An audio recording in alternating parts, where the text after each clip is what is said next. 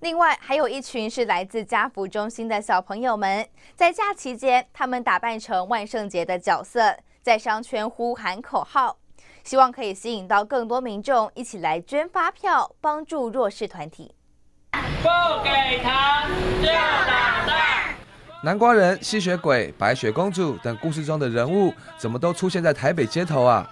原来这是甜品业者的噱头，在万圣节带领着家福的小朋友们一起手足舞蹈的踩街游行，向附近店家呼喊着“不给发票就捣蛋”的口号，希望将这些收集到的发票变成大大的爱心。我们听到的家福中心的小朋友，他们希望有一个梦想，就是在万圣节呢，可以一起上街的一个游行。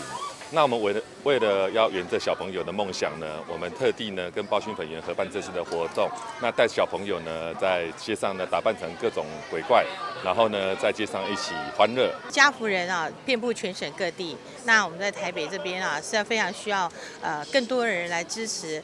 在呃台北啊，在那个一些边缘或者是阴暗角落的孩子们，那其实这样的活动，我觉得带给孩子很多的阳光跟欢乐，我觉得非常重要哈。募集发票一个活动，就是给我们一些希望嘛哈。其实不管用任何方式，我们都非常欢迎，就是啊每个社会上每个角落每个人都一起来啊赞助那经济弱势的孩子。而透过这样的活动，不但可以将大家的爱心化成实际行动，帮助弱势家庭，而这些小朋友对于能在万圣节打扮成自己喜欢的故事人物，也感到十分的开心。今天是扮什么？南瓜。这个舞学多久？